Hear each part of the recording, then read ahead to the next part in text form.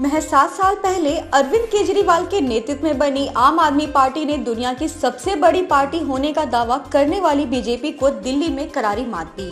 इस तरह से बीजेपी की दिल्ली में 22 साल की सत्ता के वनवास को खत्म करने की कोशिशें धरी की धरी रह गई इस तरह से बीजेपी का वनवास पाँच साल का इजाफा और हो गया। बीजेपी को आम आदमी पार्टी ने लगातार दूसरी बार शिकस्त दी और भाजपा दोनों बार डबल डिजिट भी पार नहीं कर सकी। दिल्ली में फिर से आम आदमी पार्टी को मिली प्रचंड जीत ने बीजेपी की रणनीति पर सवाल खड़े कर दिए। अन्ना आंदोलन से निकले अरविंद केजरीवाल की आम आदमी पार्टी गठन के महज सात साल हुए हैं। कह सकते हैं कि आपका सियासी आधार दिल्ली तक ही सीमित है और थोड़ा बहुत पंजाब में।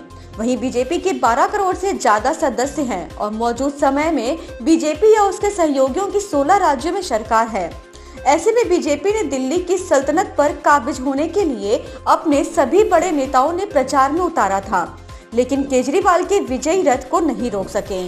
आम आदमी पार्टी के मुफ़्त बिजली, पानी व महिलाओं को डीटीसी में फ्री यात्रा के मुद्दे का बीजेपी कोई तोड़ नहीं निकाल सकी। हालाँकि बीजेपी ने शाहीन बाग को भी मुद्दा बनाया और इसका उसे लाभ भी मिला, लेकिन इतना नहीं कि वह आम आदमी पार्टी से बराबरी का मुकाबला कर सके।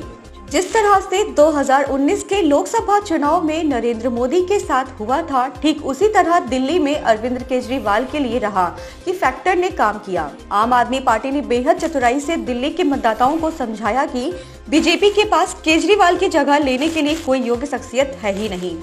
पिछले छह माह के दौरान केजरीवाल सरकार ने और मुफ़्त चीज़ों की घोषणा की, जिसमें बसों और मेट्रो में महिलाओं और विद्यार्थियों को मुफ़्त यात्रा शामिल है। इसके चलते महिलाओं के बीच केजरीवाल की पकड़ मज़बूत हुई।